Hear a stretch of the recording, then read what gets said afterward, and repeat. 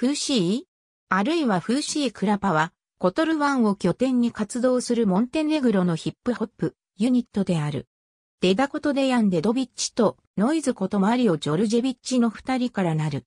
2000年代初期に結成され、その頃に作成されたデモテープとしては、ディム PO ディムがある。二人は、セルビアのヒップホップコンピレーションアルバム、アリスボリューム1や43ザラのアルバム、スベイセームバラベなどに客演した。2007年には、フーシーのデビューアルバム、スベロニカプクが発売された。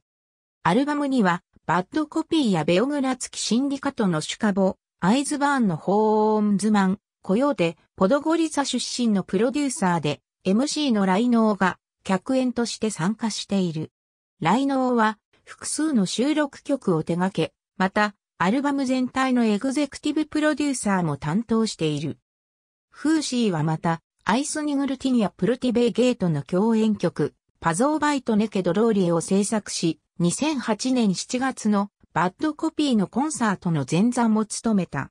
フーシーは、ウォルゾ、ラビア、チェインと共に、ボカシュカブリガダと称するヒップホップグループを設立する。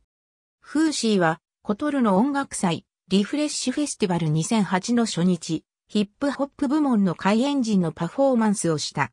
ディスコ、マキシマスにて午前0時の開演に合わせて、モンテネグロ国内外から訪れた多くの観衆を前に、彼らはパフォーマンスを披露した。